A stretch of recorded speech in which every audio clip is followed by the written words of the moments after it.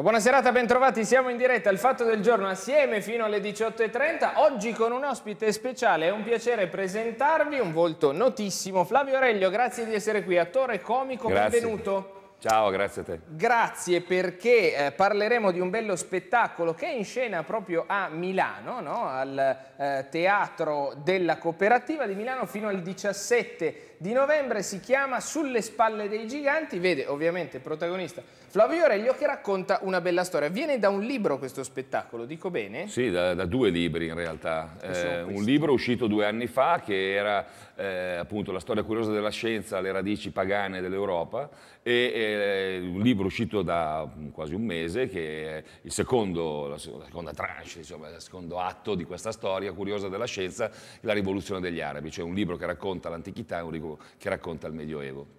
Questa storia che eh, appunto viene raccontata poi agli spettatori ha sì un significato, adesso ci racconterai di che si tratta perché sempre nei tuoi spettacoli metti un tema forte sotto, ma si ride anche parecchio, no? Eh, Certo, assolutamente. Cioè, il, il mio linguaggio resta il linguaggio satirico-umoristico, per cui quello è il modo che ehm, io utilizzo per esprimermi e non lo voglio mai abbandonare nel modo più assoluto perché prima mi diverto io. Poi Curioso dico- che poi, tra l'altro, Flavio Aurelio viene in me- tutti, a tutti viene il poeta catartico, quello, perché quella, per quella scena, diciamo, è rimasta no, straordinaria. Te lo chiedono ancora di fare, quindi. Ma questo sì, sì, perché il, il discorso del, del momento catartico è stato importante perché Zelig fu una trasmissione di grandissimo successo in quegli anni e divenne addirittura un fatto di costume, no, il momento catartico. Mi ricordo i libri del momento catartico poi hanno venduto tipo 2 milioni di copie, una cosa esagerata. Ed era un'icona televisiva molto precisa. Io assolutamente non rinnego quel percorso, però già prima di quel momento io facevo altre cose che ho ricominciato e ho ripreso a fare dopo, ma anche durante. Anche durante, Anche durante. Esatto. E nel caso delle sp- eh, sulle spalle dei giganti si parla proprio di temi insomma importanti. Noi eh, adesso scopriremo in questa bella chiacchierata che eh, dietro la risata che eh, viene strappata e che è abbondante nel tuo spettacolo ci sono dei temi quali per esempio la scuola, no? Eh, le spalle dei giganti, adesso ci spieghi un po' di che si tratta, ma si parla per esempio di scuola, di insegnamento, tu tra l'altro hai un passato da insegnante, dico bene. Sì, ho insegnato matematica e scienze ehm, per qualche tempo. Che di solito non fa ridere l'insegnante di matematica, neanche un po'. Ma invece sai che con la matematica si ride tantissimo. Adesso non, è- non- non faccio la dimostrazione perché sennò sembra, ah guarda, guarda che fai il giochino, tipo, eh, no. Però eh, fidati, ne- nel- nello spettacolo io parlo molto per esempio di matematica e ci sono parecchie risate, perché dipende, la realtà dei fatti è che si può ridere di qualsiasi argomento. Non esistono temi comici eh, di suo. Sei tu che rendi comico o divertente un tema, eh, dipende da come ne parli, perché la- il fatto di ridere è semplicemente un gioco della nostra testa, un gioco mentale. Se tu sei capace di fare il giochino giusto, fai ridere su quell'argomento, anche se l'argomento di per sé sembrerebbe non essere per niente divertente. Sì, sì. E quello è un segreto. No, no, beh, è evidente. Eh, nel, nel caso appunto si parla anche di insegnamento perché eh, come, come tesi, diciamo, che sta sotto eh, queste, queste teorie, c'è che l'insegnamento nella scuola non è fatto forse nel modo più giusto. no? Si potrebbe immaginarne un altro, addirittura in qualche caso eh, parli di indottrinamento invece che di insegnamento. No? Prova a spiegarci di che si tratta. Ma eh, guarda, eh, allora la, la questione è questa. Affrontando questo tema che è la storia della scienza, perché questo eh, spettacolo e questi libri raccontano la storia della scienza, io li ho intitolati Storia curiosa della scienza perché, perché è un argomento per gente curiosa, è, è pieno di curiosità ed è, e la curiosità è sempre stata la molla principale che ha spinto l'uomo a ricercare. no? Ehm, Diciamo che eh, raccontando questa storia, che tra l'altro è una storia positiva, eh, perché sai, quando tu studi la, la storia a scuola, studi una sequenza di guerre una dopo l'altra, no? Eh, hai l'impressione che gli uomini non abbiano fatto altro che farsi la guerra e cresci con la mentalità per cui dopo gli uomini sono cattivi e quindi se oggi c'è una guerra, eh, cosa vuoi farci? Eh, c'è È sempre sempre stato stata, così, no? solito. E quindi l'accetti, invece in realtà la guerra si può benissimo non fare. ecco. E quindi raccontando invece la storia della scienza, i fatti positivi che hanno fatto crescere l'umanità, racconti una storia particolare di, ehm, di- di- di- cose belle. Ecco, perché poi eh, le guerre hanno sempre portato eh, odio, distruzione e, e, negatività. Invece i passi avanti l'umanità li ha fatti nei momenti di pace o comunque con le grandi scoperte che sono state fatte, che sono uh, utili per tutti. Vero, vero, sono d'accordo. Cioè, I passaggi chiave sono quelli lì della guerra, guerra 1, guerra 2, certo. allora uno deve fare il collegamento eh. storico tra l'uno e l'altro. Es In mezzo quello che è successo sia lunga o sia breve il periodo salta, Esattamente. No? E, cosa succede? Che eh, quindi tu in teoria potresti raccontare la storia dell'umanità per esempio in altri termini. Invece oh, è chiaro che le guerre vanno studiate, non è che dobbiamo far finta che non ci siano state, però bisognerebbe studiare anche altri, altri aspetti. Uh -huh. e, e su questo appunto è il primo dito puntato nei confronti confronti della scuola, no? perché eh, noi per esempio ci sono dei personaggi che conosciamo, tipo Archimede, no? Archimede perché lo conosciamo? Ne sentiamo parlare a scuola, ma perché lo studiamo in fisica, il principio di Archimede, certo. e quindi è un personaggio che sembra fuori dal tempo, no? in realtà eh, occupò un periodo molto preciso, eh, così come Euclide, Euclide dove stava? Eh, eh, sì, lo studi a scuola, il teorema di Euclide, i teoremi di Euclide, Pitagora, il teorema di Pitagora, i quadrati costruiti sui cateti, eh, benissimo. Eh, però tu non hai la percezione di dove sono collocati nel tempo, perché in realtà sono personaggi storici che tu conosci perché li studi in un altro contesto. È vero, è vero. E eh, quasi mai vengono studiati, se non magari nel liceo, giustamente quando ci sono le ore di filosofia, però poi rimettere insieme i pezzi non è, non è semplice. E quindi questo è il primo dito puntato nei confronti della scuola. E poi soprattutto ci sono dei, per esempio dei periodi storici che non vengono affrontati assolutamente e che però chiariscono tantissime cose. Uno è sicuramente il periodo dell'ellenismo, che è questo periodo appunto sì. dove ci sono i vari Archimede certo. e compagnia bella. E l'altro è un periodo che è trattato nel secondo volume del mio libro, che è la Reconquista spagnola.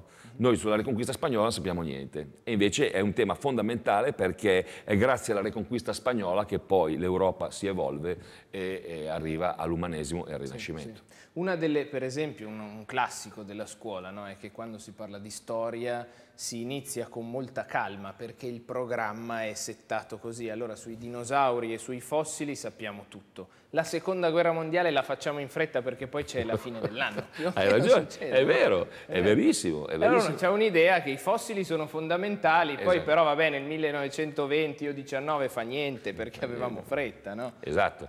E poi dopo tu ti ritrovi che sei arrivato alla fine degli studi e ricominci da capo e trovi ancora i fossili perché vero, si ricomincia sempre da lì. Sempre eh, cioè, e quindi insomma l'insegnamento è, un, è, una cosa molto particolare. Secondo me, tra l'altro, una critica che io ho sempre fatto alla scuola è che spesso e volentieri non si, ehm, dire, non si comprende fino in fondo il fatto che la scuola è il luogo dove avviene la trasmissione della cultura e non lo sfoggio della cultura. E quindi i professori andrebbero valutati non tanto per quello che sanno, ma per come lo sanno trasmettere.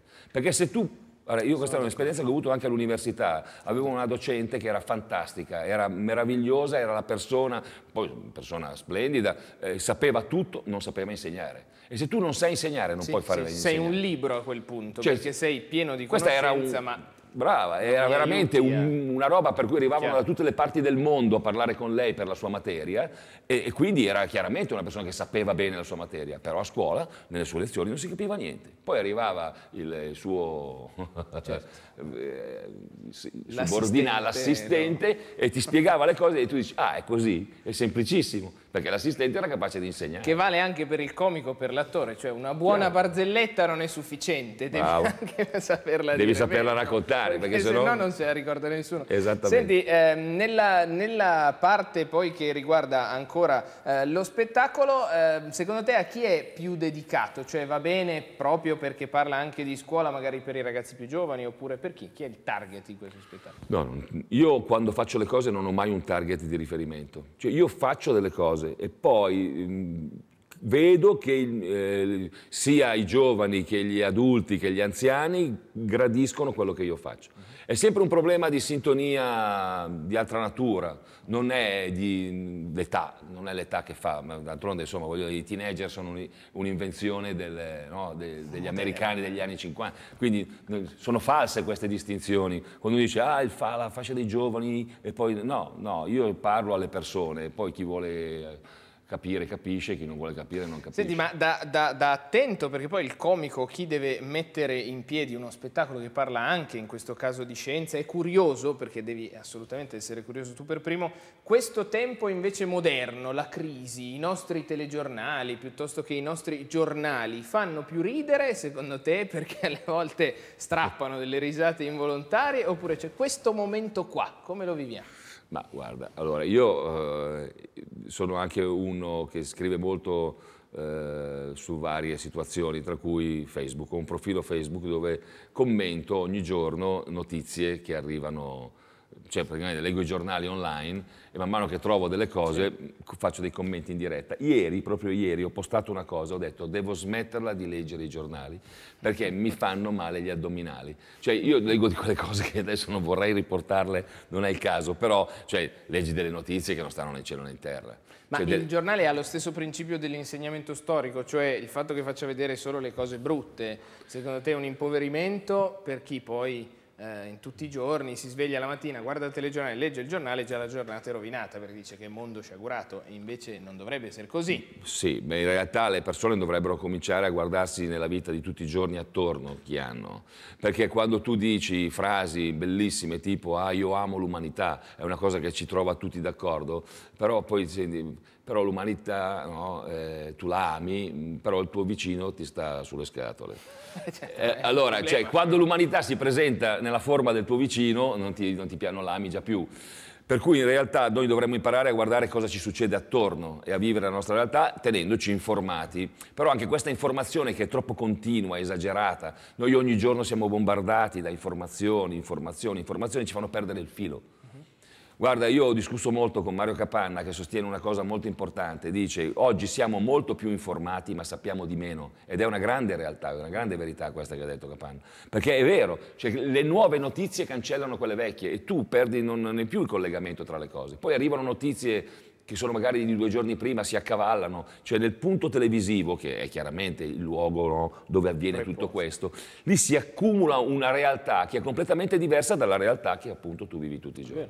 Che poi ah. è straordinario perché eh, è vero che siamo rapidissimi, cioè io con il tablet, il cellulare posso guardare due cose insieme, intanto ho un orecchio alla tv, le notizie sono rapide proprio perché... Certo però ho il piacere di andare a vedere uno spettacolo dove prendo la macchina, esco di casa, mi siedo e ascolto un singolo, una singola persona, un singolo attore che per un'ora e mezza mi racconta una storia, c'è ancora, ci piacciono ancora le storie per fortuna. Beh certo, è atavico questo, cioè è proprio il focolare con la persona che racconta, è una cosa che è bellissima, se tu ti lasci prendere da questa dimensione eh, la vivi ancora con una grande, un, cioè grande, un grande piacere, ecco, un, assolutamente eh, fa parte nostra, mm, so, del nostro modo di essere. Vi faccio vedere come eh, Flavio Aurelio che dice sì vabbè ma fa ridere, in realtà parli anche latino. Eh vabbè ho no? capito. eh no, lo fa. Guardate questo. Au, au! Oh, curi inquit turbulentam fecisti mia aquam bibenti. l'aniger contra di me squivossum queso facere qualquare rislupe. Ad ed curitat meos austus liquor, repulsus ille veritatis viribus. Amteo sex meses maleae dixisti mi, equidem natus non eram, pater Hercledus, maledixit mi, o atque ita correptum lacerat, li mortaci, in iustanece.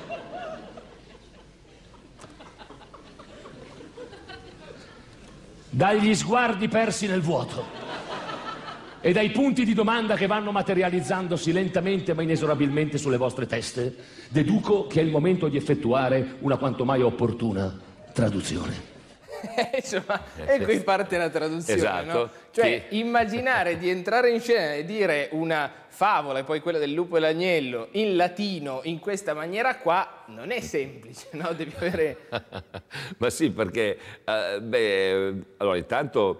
Eh, appunto all'inizio c'è una spiegazione dove dico ma eh, c'è tutto un discorso sul lupo no? che parte da, da, da, da eh, Hobbes che aveva detto che homo homini lupus, eh, cioè l'uomo è lupo all'uomo, l'uomo è cattivo nei confronti del, dell'uomo e per dire che è cattivo usa il lupo. Uh -huh. E allora io dico no, un momento, perché il lupo?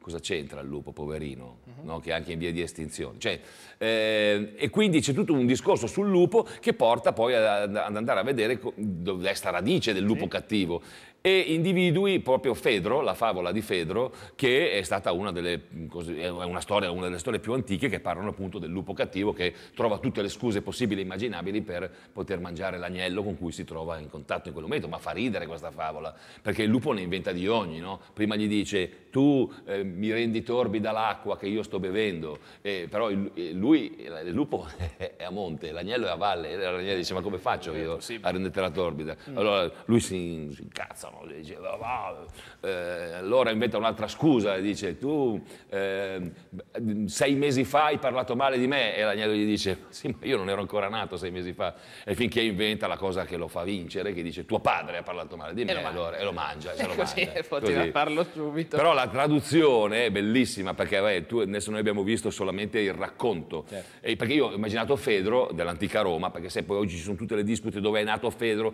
alcuni dicevano che era nato in Africa, altri dicevano no, il Medio Oriente, altri dicono no, no, è proprio originario di Roma, le ultime sono queste, le ultime notizie su Fedro, se a qualcuno interessano. certo. e, e, però di fatto comunque stava nell'impero romano, io ho immaginato che Fedro parlasse e raccontasse la sua favola usando la calata tipica romana, certo. che io così cerco di imitare in qualche modo, i miei amici romani me l'hanno insegnata e io cerco di, di, di applicarla. E da qui appunto l'ascolto che da parte del pubblico resta fisso, si sì. parli in latino, no, però c'è il racconto, è bello quello, certo. no? Certo, guarda io da tanto tempo ho imparato a considerare uno spettacolo eh, nella sua bellezza e, dici, e, che ti dici tu, eh, ecco sta venendo bene, eh, non tanto dal quantitativo di risate che arrivano mm -hmm. dal mhm. pubblico, perché questo era un vezzo proprio tipico di un certo mondo comico. Cioè lo spettacolo funziona se la gente ride tanto. Ti fa spanzare sì, dal ridere. Non no? è vero, mm. non è vero. La cosa più importante da, uh, da avere e da percepire è l'attenzione del pubblico. Mm. Se tu senti che il pubblico è attento quando racconti, anche se ride un po' di meno, mm. che poi non vuol dire che non rida, perché in questo spettacolo si ride tantissimo, mm -hmm. eh, però mh, posso anche concedermi delle pause di narrazione dove in realtà il pubblico in quel momento non ride, però lo sento che sta proprio seguendo quello che sto facendo e l'attenzione è fondamentale. E quindi il messaggio, quale che sia, eh, passa meglio certo, c'è l'attenzione, ma certo. da insegnante l'attenzione dura 20 minuti, dicono, poi dopo non c'è più, invece... E bisogna tenerli presenti però no, questi dati allora, cioè vuol dire che dopo 20 minuti di spiegazione devi trovare un sistema per alleggerire la lezione e poi riprenderla. Eh, guarda, che, guarda, che, insegnare e stare sul palco è la stessa cosa. Cioè proprio hai davanti un pubblico che tu devi interessare, intrattenere in qualche modo. E quindi fare l'insegnante o fare l'attore è uguale. Devi studiarle tutte per cercare di tenere l'attenzione viva su di te. Con Flavio Aurelio, tra poco dopo la breve interruzione, di nuovo parliamo di spettacolo, di teatro, del suo spettacolo con voi tra poco.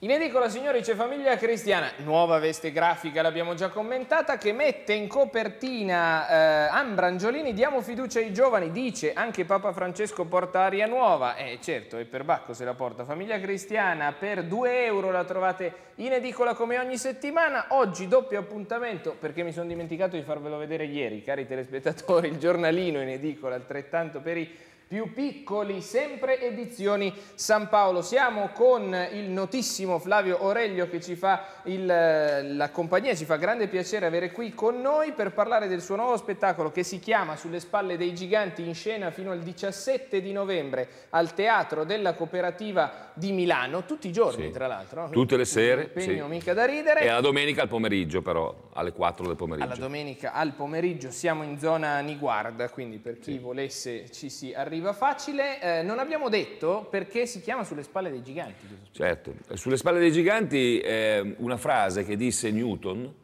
quando qualcuno gli disse, signor Newton, lei è, è stato tra tutti gli scienziati quello che ha visto più lontano, no? E lui rispose in questa maniera, dice, io ho potuto vedere così lontano perché stavo seduto sulle spalle dei giganti.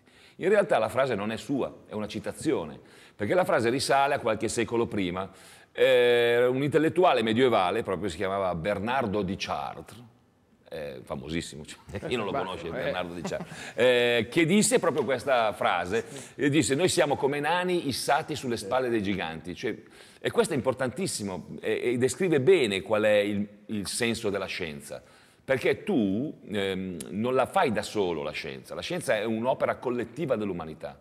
E quindi i, questi intellettuali avevano comunque riconosciuto il lavoro fatto dalle persone precedentemente a loro, grazie al quale loro avevano potuto vedere ancora più in là. Chiaro, e quindi chiaro. è importantissimo, dà proprio il senso della scienza. E siccome appunto lo spettacolo racconta la storia della scienza, mi sembrava giusto, giusto dare un titolo. Io sono lì, però ci sulle sono spalle altri, dei giganti. Altri prima. Ah, e a voglia. proposito di giganti, Flavio Aurelio si può dire che insomma negli ultimi anni dal grande successo di quello Zelig dove sì. eh, tu eri uno dei protagonisti, eh, il cabaret, insomma la, gli spettacoli eh, in tv hanno preso anche a modello quel tipo di show e hanno cercato di duplicarlo, ma con una critica che mi permetto perché quello lì faceva molto ridere. Adesso invece ci sono dei cambiamenti, o forse sono io che sto diventando grande, io ero più giovane, e, eh, però dei cambiamenti che non lo so, mi sembrava un po' più ricercato quel tipo di cabaret, al, dal, al partire dal nome, no? il poeta catartico per esempio eri tu e molti altri. Adesso invece c'è una ricerca di risata un po' più grassa, però un po' più, un po più scema se mi è consentito.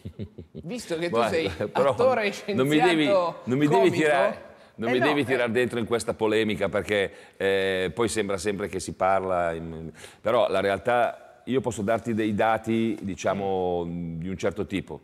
Eh, quando ci fu il primo Zelig, eh, il gruppo di attori comici che in quel momento fu reclutato per fare quella trasmissione, era un gruppo di attori che aveva alle spalle una gavetta pazzesca, cioè c'era chi aveva dai 6-7 anni di attività già sui palchi, chi aveva eh, addirittura di più, fino a 10-15 anni di attività. Sì. E si è vista tutta questa cosa. Ecco. È quella la differenza. Infatti è durato anche nel tempo. È durato nel tempo e ha, non solo è durato nel tempo, ma eh, perché sai, c'era anche un, un l'indice di gradimento è stato molto sì. alto. Sì. Poi c'erano degli artisti che ti potevano piacere o non piacere in base alla loro proposta, ma sicuramente erano tutti dei professionisti che erano impressionanti uh mhm. -huh. dal punto di vista dell'esperienza. Poi è andato via via scemando questa cosa, eh, nel senso che oggi molto spesso, non sempre, perché ancora qualcuno salta fuori che ha una gavetta già alle spalle, ma molti sono proprio alle prime armi, arrivano lì, perché ci sono i laboratori che costruiscono proprio i minuti, un minutaggio breve, dove chiunque, quasi chiunque possa cioè, misurarsi. Il, buon, il, personaggio un po' sciocco magari va bene per quella stagione, fa quel suo minutaggio, basta. sì, e poi dietro. è cambiato anche il riferimento, cioè, non dimentichiamoci che Zelig partì in, in, seconda serata su Italia 1 a lunedì sera, sì, sì. ed era una seconda serata. Il cabaret è uno spettacolo, mh, mm, non è uno spettacolo per famiglie, diciamo, uno spettacolo per adulti in qualche modo. Eh, trasferendosi poi in prima serata, eh, prima su Italia 1, poi su Canale 5, perché addirittura, eh, chiaramente eh, ha dovuto sottostare alle leggi di, di, altra natura, ha cambiato completamente la pelle. Mm -hmm. E quindi siamo passati da una forma di spettacolo che in qualche modo tendeva al cabaret eh, a una forma di spettacolo che tende verso altre dimensioni, che sono il varietà, l'avanspettacolo, la, la, la, fino all'animazione da villaggio. queste, questa che è, la, è la realtà più dei simile eh, ad adesso, no? eh sì, le scenette col pernacchio, il fischietto, quella roba lì. Sì, eh sì vede, sono no? gli animatori da villaggio che va eh. benissimo, cioè, però non, è, non, ha più niente a che vedere con eh, il mondo del cabaret. Già era al limite parlare di cabaret con il primo Zelig, però... E adesso il mondo del cabaret, quello non televisivo, ma quello da locale, esiste ancora, può certo. tornare? E come? Guarda, io ti posso dire che a Milano c'è un underground vivissimo sotto questo punto di vista, dove ci sono artisti straordinari che non sono conosciuti dal pubblico, purtroppo, e, e, e che fanno fatica a farsi conoscere perché ormai i cliché sono quelli zelighiani, eh, che tu faccia Zelig, Colorado, Made in Sud, che tu faccia le trasmissioni, magari quelle anche su Sky, ehm, Mm, sono tutte simili, cioè sono certo. tutte queste carrellate di eh, comici, no? e quindi eh, diciamo che parlare di comicità è una cosa e parlare di cabaret è un'altra. Il cabaret sopravvive come e c'è, solo che non lo si propone mai. Vediamo intanto il sommario per chiudere questa nostra trasmissione, il sommario del TGN in onda 19 e 15 con Jacopo Casoni, lo vediamo via.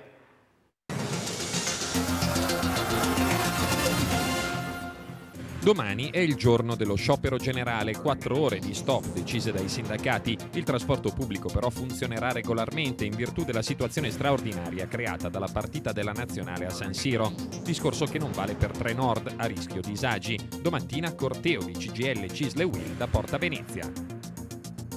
È stata inaugurata stamattina la nuova centrale operativa di ATM. Viene unificato il controllo delle tre linee della metropolitana con strumentazione all'avanguardia. Il costo per l'azienda è stato di 11 milioni e mezzo di euro.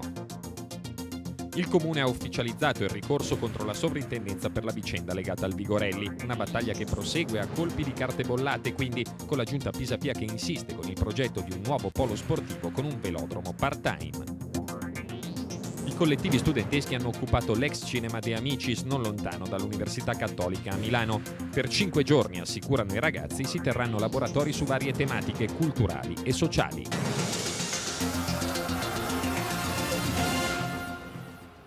19.15 TGN, dopo di noi la Chiesa nella città con Anna Maria Braccini che parla del cardinale che è andato in Russia. Flavio Aurelio da questo libro ha tratto lo spettacolo Sulle spalle dei giganti, Teatro La Cooperativa di Milano fino al 17 di novembre. Quanto costa? Eh, beh, ci sono una varietà di... Una varietà? Di, sì, ci sono una varietà di costi, cioè non, non c'è un prezzo. Ah, Mi sembra che sia 18 euro. 18, quella il- cifra lì, così Però non è- poi ci sono tutti gli sconti se lo prenoti da- su internet, c'è, lo sconto, c'è, un sono mondo, bisogna guardare giusto. il profilo del non teatro deve della costare cooperativa. tanto venire a teatro No. perché è un bel, un bel modo per intrattenersi per un po'. Ehm, prossimi appuntamenti invece, nuovi libri, sempre scienza, matematica, le stai toccando Guarda, tutte, sì. latino, tutto abbiamo detto. Sì, beh, no, adesso mi devo mettere all'opera per scrivere il terzo volume che uscirà l'anno prossimo. eh, di questa Della storia. curiosa storia della scienza, Esattamente. uno, due, tre, ok. E l'appuntamento però più importante che mi sento di segnalare dopo il Teatro della Cooperativa sarà il 24 di novembre, Mm. a- dove presenterò questo libro al Museo della, mh, di Storia Naturale, Bello. nell'ambito di Book City. Bello. C'è la manifestazione Book City e, e sono... Stando nell'ambito scientifico. Eh, certamente. Grazie a Flavio Aurelio, è stato un piacere averti qui. Noi ci Grazie salutiamo, ci vediamo domani Ciao. puntuali ore 18 fino alle 19 insieme. Parliamo di politica, avremo anche il neo eletto a segretario eh, provinciale del Partito Democratico Bussolati. A domani, buona serata. Questo programma vi è offerto da Famiglia Cristiana, il settimanale della famiglia.